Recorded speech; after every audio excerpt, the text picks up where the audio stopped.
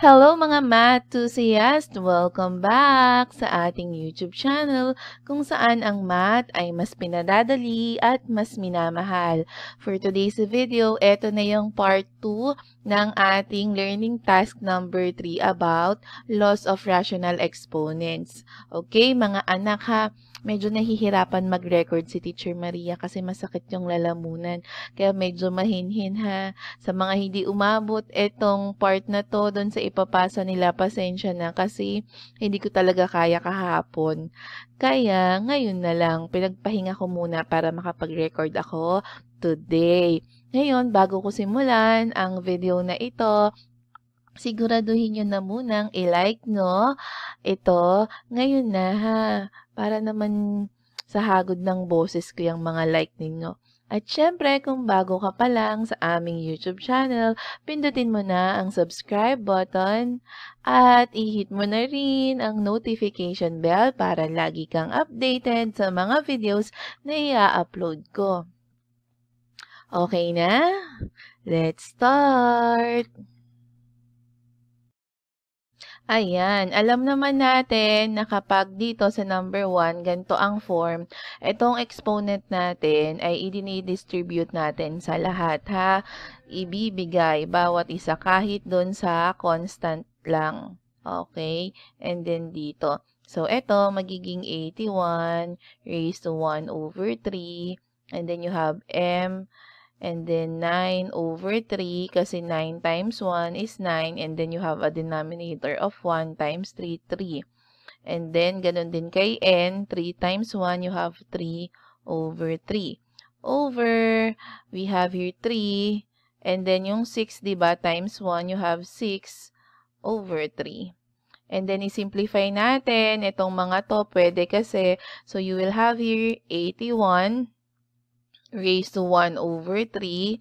9 divided by 3, you have 3, correct. And then for n, 3 divided by 3 is 1. You don't need to write na, ha? 1 lang naman kasi.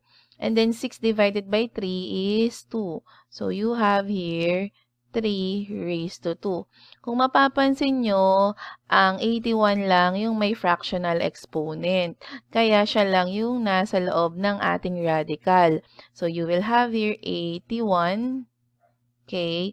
Ang exponent niya ang, ay 1, ang index niya ay 3. And then, you have m raised to 3 and then n over 3 squared is 9. Pero, pwede pa natin tong i-simplify, ha?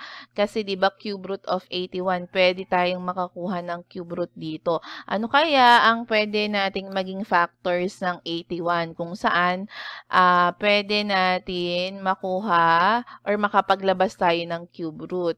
Kung iisipin, pwedeng 9 times 9, di ba? Pero dalawa lang yun. So, babaan pa natin. Uh, so, pwedeng 3, di ba? So, magiging, o, oh, lagay ko dito ha. Kung 9 times 9, gawin na lang kaya nating 3 times 3, 9 times 3, 27 times 3, 81. And then, m raised to 3, n over 9. And then, cube root. Ibig sabihin nito, pwede kang maglabas ng 3, basta tatlo sila. Kasi cube nga eh. So, eto, saka eto, saka eto, wala na, mako-consider na lang silang isa para mailabas mo siya. So, magiging 3 na to. And then, ang 3 na lang na maiiwan sa loob ay ito. So, 3, M, ay, sorry. Sorry, wait lang. Aha, kasi, aha, o oh, yan. Ulitin ko ha. Ang maiiwan na lang sa loob ay isang 3, tapos ito, katumbas niya yung isang 3 sa labas. So, you have 3. And then, malit lang yung radical natin kasi siya lang naman yung nasa loob. So, you have 3 cube root of this one. And then, you have m raised to 3, n. Hindi siya kasama dun sa loob, ha? And then, you will have here 9. Ngayon, itong 3 sa 9, pwede nating i-lowest term, di ba? Divisible sila by 3. Ito, pwede kong i-divide by 3, kaya 1 na lang siya. Ito naman, by 3 din, pareho dapat, kaya ito 3 na lang siya. Ano ngayon ang final answer natin? Unahin natin itong isulat ha.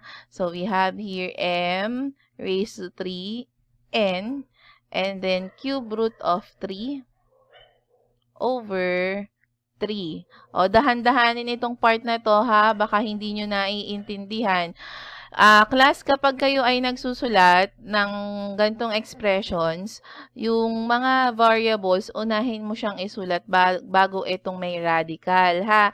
Kasi para hindi ka malito, pag nandito baka mamaya ma-extend mo siya, akalain kasama siya nung nandito sa radical sign. So, isulat mo siya ng nasa unahan para alam mo na ang nasa radical sign lang ay etong number na to. So, eto na yung final answer.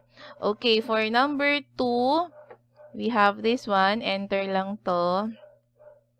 Okay. O, madali lang ito ha. Distribute lang ulit. Distribute. So, you will have here x.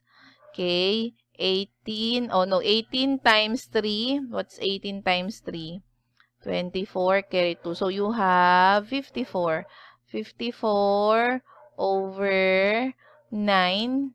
And then y, 9 times 3 is 27 over 9 also. Uh, what is 54 over 9? We have 6, diba? So, x raised to 6. And then y raised to 27 over 9. 27 divided by 9 is 3. So, y raised to 3. O, dahil walang fractional exponent, eto na siya. Wow, parang bonus ah. Ang bilis lang gawin ah. Okay, next we have this one. O, kung mapapansin ninyo, dito sa given natin, pareho ang base natin, di ba? 3x squared, 3x squared. Pero magkaiba tayo ng exponent at minumultiply natin sila. Tandaan natin, pag nagmumultiply tayo, anong ginagawa natin sa exponents? Ina-add natin, ha? Parang, uh, ito, ititreat mo siya as x raised to 1 half. Ito din, x raised to 1 third. So, you have to add.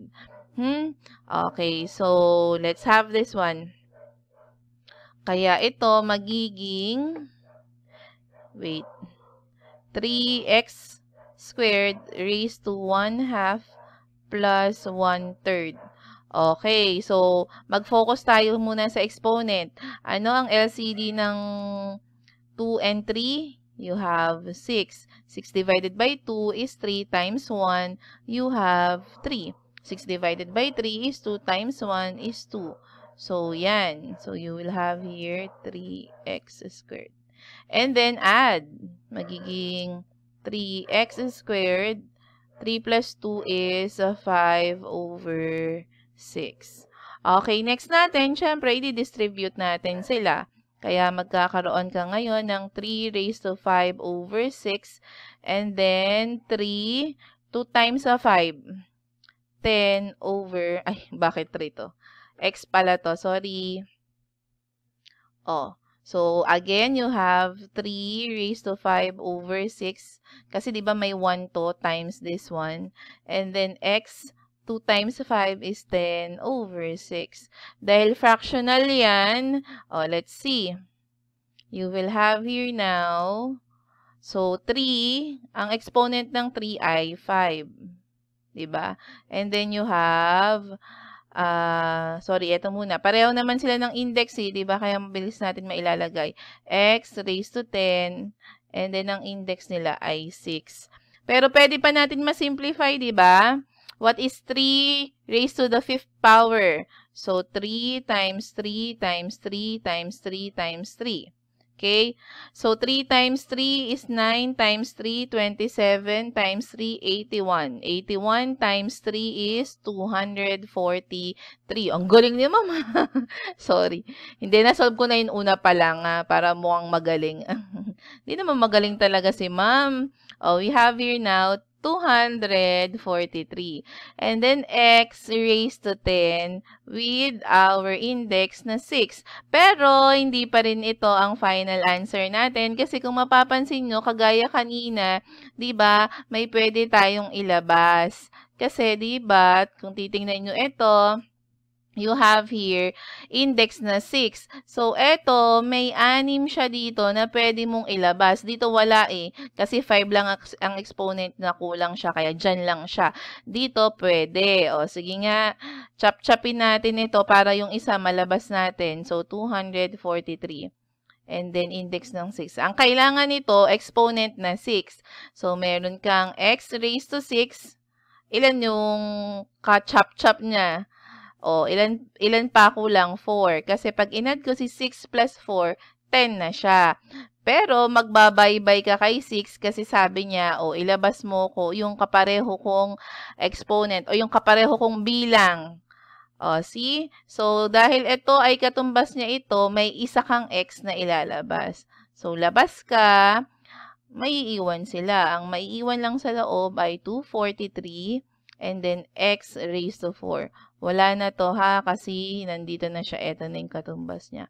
To the sixth, ha, to the sixth, or with the index of 6. Hindi to exponent ha, yung 3, 243 yan. Teka, ayusin ko nga. O, yan na ang ating answer. Okay. Okay, for number 4, ganun ulit sa exponent, i-multiply natin ha. So, meron ka ditong x, and then 10 times 1 is 10 over 5, plus x, 8 times 1 is 8 over 4. And then, simplify ninyo, 10 over 5 is 2. So, you have here x raised to 2 plus 8 over 4 is also 2. Kaya magkakaroon ka rin dito ng x raised to 2. Now, pwede natin sila i-add ha. Isang x raised to 2 added to isang x raised to 2 pa, you will have 2 x raised to 2. Tandaan ha, ang ina-add lang natin yung numerical coefficient at yung ating literal coefficient kinokopya lang ha. Hindi yan magiging 4 ha, hindi magiging 4. Copy lang ito ulit at ina-add lang yung number. Eh ma'am, wala namang number ah, 'di ba? Invisible 1 yan, wag na kayong makipagtalo pa ha. So you have there. Okay, for number 5, Uh, let's see ha. Ito, distribute. Kaya ito ay magiging 3 raised to 3.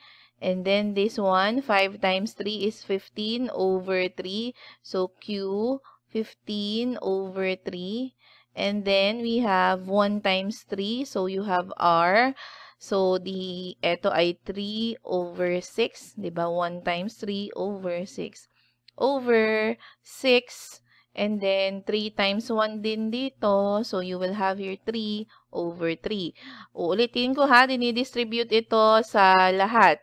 Okay? So, you will have here now this one. What is 3 times 3 times 3? 3 times 3 is 9 times 3 is 27. So, 27. And then, 15 divided by 3, you have 5. So, you have Q raised to 5.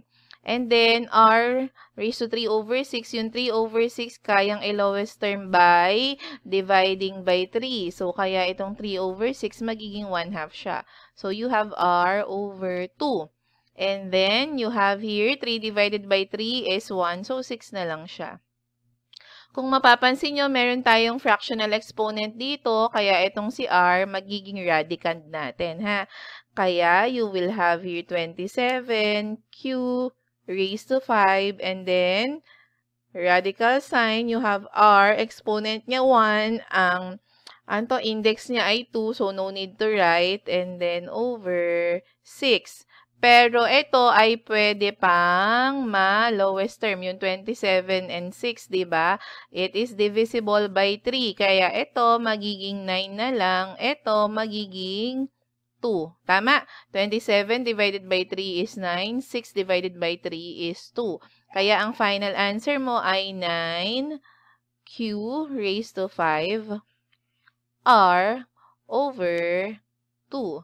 Ayan. So, nakatulong ba ang video na ito? Kung nakatulong ang video ha, palitan nyo naman ito ng magandang comment dyan sa baba. At kung hindi kayo mga busy, baka naman mga anak, i-follow nyo na rin ang ating Facebook page, Maria, Maria Matics, ha? Okay, let's spread the love of math. Happy studying! Bye!